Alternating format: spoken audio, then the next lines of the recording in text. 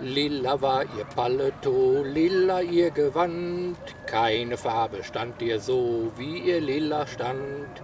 Alles, was sie trug und tat, musste lila sein. Tilla, ach wie schön bist du, Tilla, ach wie fein.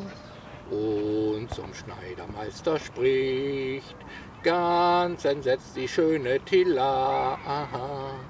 Nein, nicht rot, rot steht mir nicht, Bitte lila, bitte lila. Nein, nicht rot, rot steht mir nicht. Bitte li, li, li, lila. Ja, jetzt werden sich natürlich einige fragen, was macht denn der Schreiber jetzt da? Will er jetzt den Wiener Sängerknaben Konkurrenz machen? Nee, eigentlich nicht. Ich glaube, die können das besser als ich. Hier bei diesem Lied, da geht es mir mehr um den Text das Lied ist nicht so sehr bekannt. Ich finde aber, der Text ist schon interessant und deswegen will ich mal auch gleich mit dem nächsten, zweiten Strophe weitermachen. Einstmal fuhr sie mit Papa, den das mächtig freut, Richtung Südamerika mit der Linie Lloyd. Eine Prachtkabine stand ihr schon reserviert, doch zu Tilas großem Schreck war sie rot tapeziert und zum Obersturt spricht ganz entsetzt die schöne Tilla. Aha. Nein, nicht rot, rot steht mir nicht, bitte lila, bitte lila.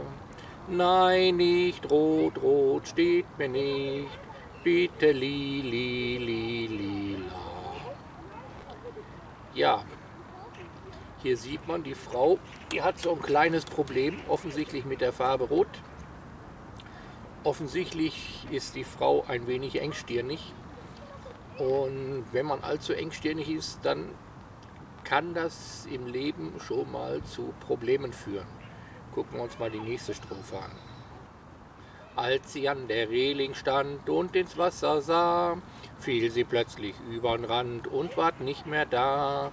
Man warf einen Rettungsring und in ihrer Not griff sie auch sofort danach, doch der Ring war rot und mit Todesstimme spricht ganz entsetzt die schöne Tilla. Aha. Nein, nicht rot, rot steht mir nicht, bitte lila, bitte lila. Nein, nicht rot, rot steht mir nicht, bitte li, li, li, lila. Rettungsringe lila-blau gibt es leider nicht, so erschafft die schöne Frau, wie es ihre Pflicht. Wenn dann in der Maiennacht lila strahlt das Meer, wandert, oh welch schöne Pracht, Tillas Geist umher und mit Graberstimme spricht dann der Geist der schönen Tilla. Aha. Nein, nicht rot, rot steht mir nicht, bitte lila, bitte lila. Nein, nicht rot, rot steht mir nicht, bitte li, li, li, lila. Ja, so kann es dann gehen, wenn man allzu engstirnig ist. Da können dann mal Probleme auftauchen.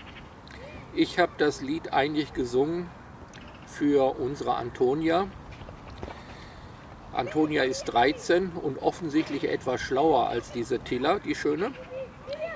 Denn Antonia, die hatte man ja gegen ihren Willen von der Familie entfernt in ein Kinderheim gesteckt, von dem sie dann abgehauen ist.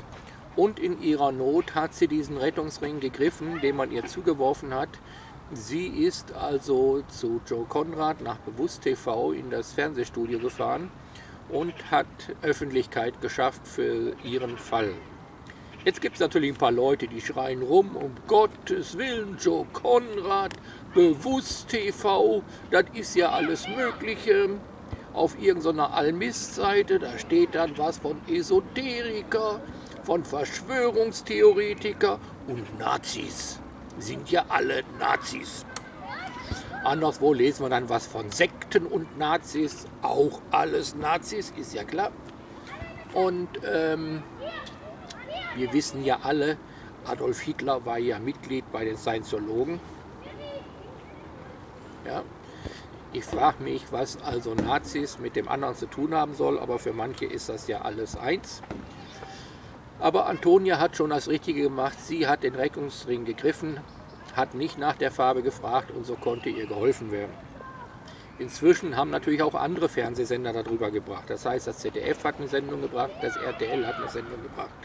Aber all das wäre ohne die Sendung von Joe Konrad von Bewusst TV niemals passiert.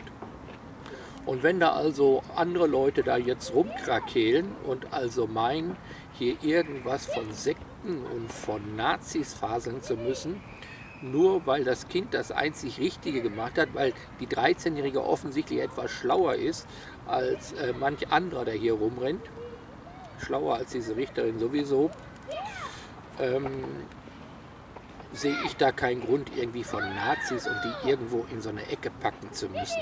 Damit haben die überhaupt nichts zu tun.